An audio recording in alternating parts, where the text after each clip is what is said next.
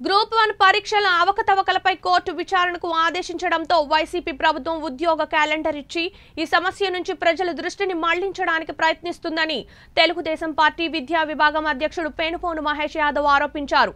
పోస్టుల భర్తీలో పరీక్షలు నిర్వహించడంలో ఏపీపీఎస్సీ తగిన ప్రక్రియ పాటించలేదని కొత్త ఉద్యోగాల విషయంలో ఎటువంటి పక్షపాతం లేకుండా నిర్వహిస్తారు అనే నమ్మకం తమకు లేదని అన్నారు.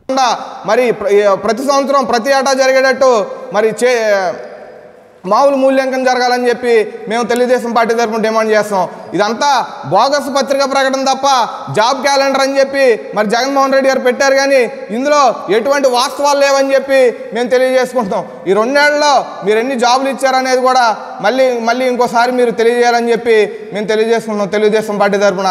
ఈరోజు మీరు ఏపీపీఎస్సీలోని ఇన్ని అక్రమాలు జరుగుతుంటే మరి ఈ మిగతా ఏవైతే ఉన్నాయో పోలీస్ రిక్రూట్మెంట్ కానివ్వండి వైద్య ఆరోగ్య శాఖ ఉండే మరి మిగతా అవుట్ సోర్సింగ్ కానివ్వండి ఎస్సీ ఎస్టీలు ఎస్సీ ఎస్టీ బ్యాక్లాగ్ పోస్టులు కానివ్వండి అన్నట్లో కూడా అవకతవకలు జరుగుతాయని చెప్పి మేము నిరూపించడానికి సిద్ధంగా ఉన్నాం.